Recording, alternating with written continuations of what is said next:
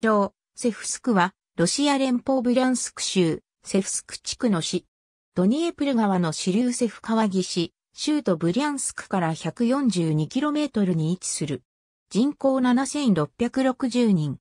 セベリアの最初の町のうちの一つであったセフスクは1146年からチェルニゴフ公国の一部であったことが知られている。1356年にリトアニア大公国に併合された。最終的にセフスクは1585年にモスクワ公国に並行され、ロシア国境の要塞となった。1634年、3週間にわたるポーランド軍の包囲に耐えた。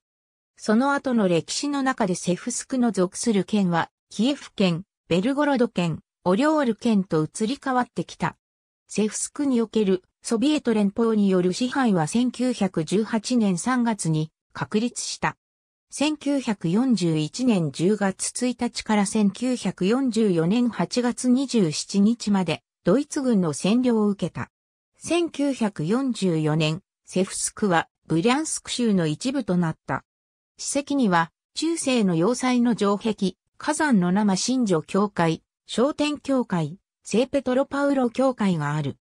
一つは1782年と1811年に建立の二つの大聖堂があったが、双方がスターリン時代に破壊され、それらの首楼だけが残っている。ありがとうございます。